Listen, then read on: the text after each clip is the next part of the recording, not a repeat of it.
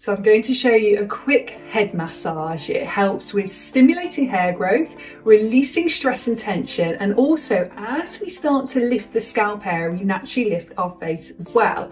So take your hands into fists and you're going to pummel down your skull, moving backwards a little bit each time, working all the way down the back and you can go right down the center as well.